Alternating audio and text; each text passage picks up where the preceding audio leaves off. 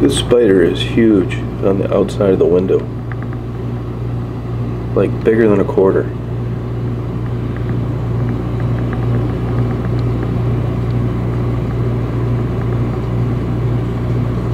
See that web he spun last night?